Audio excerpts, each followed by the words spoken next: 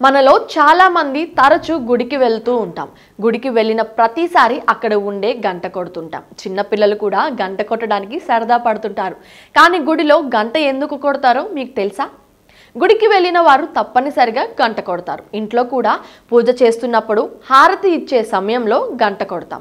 దేవాలయం వెళ్ళినప్పుడు గంట కొడితే మనసుకు ఆధ్యాత్మిక ఆనందం కలగడమే కాక సకల శుభాలు కలుగుతాయి. గంటలోని ప్రతి భాగాన్ని ఒక ప్రత్యేకత ఉంది. అదేంటంటే గంట నాలుకతో సరస్వతి మాత కొలువై ఉంటుందట.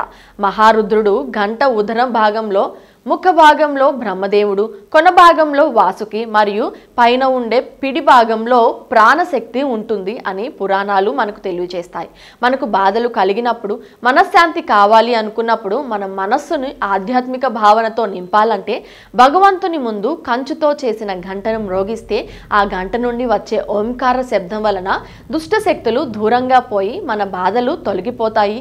కర్మ సిద్ధాంతం మనకు తెలుపుతుంది. హారతి సమయంలో గంట కొడితే మన ఇంట్లో లేదా దేవాలయంలో దేవతామూర్తులు విగ్రహాల్లోకి దేవతలను ఆహ్వానం పలుకుతున్నామని అర్థం.